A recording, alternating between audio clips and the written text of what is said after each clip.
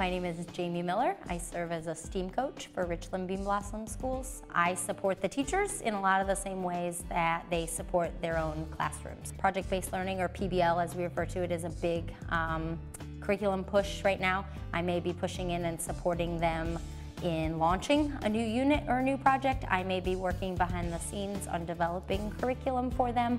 Um, computer science standards are another big new piece. The whole reason we are developing a STEAM program is to try to repair the disconnect between our schools and the workforce. So teachers are preparing students for a world that's changing faster than they can prepare them for.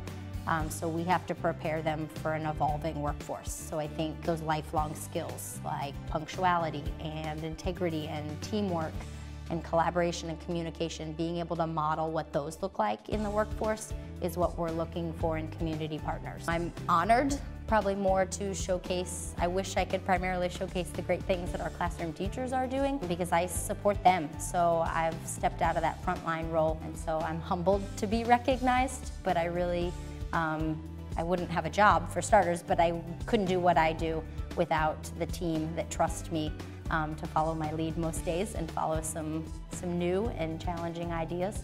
So they really are who I should be up here showcasing. As a parent, I bring my daughter to the Richland Bean Blossom Schools by choice. We're transferring um, because of the things that are happening in these schools and because of the teachers. The caliber of these teachers are unmatched. Working with the kids is where it happens. Um, they inspire you to continue to be better every single day. So I have to say now, honestly, the kids themselves um, have inspired me to remain as an educator in the classroom um, because I don't know that I would be happy not working with students.